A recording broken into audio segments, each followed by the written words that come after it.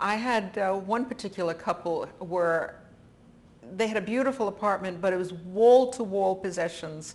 And the children really didn't know all the different things that were in this enormous house. So I went in and with the permission of the, the family that was there, the husband and wife, we inventoried absolutely everything. I got a professional to come in uh, who did estate planning and estate uh, inventories.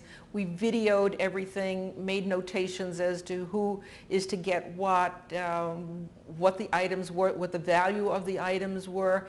And this way, the couple felt relieved that everybody knew what was in the house. The family felt relieved that things were now getting sorted out and organized. It took a great deal of time because we had to go into cupboards and drawers, but it was well worth it. We also found out that there was a storage bin that nobody knew about and we inventoried that as well.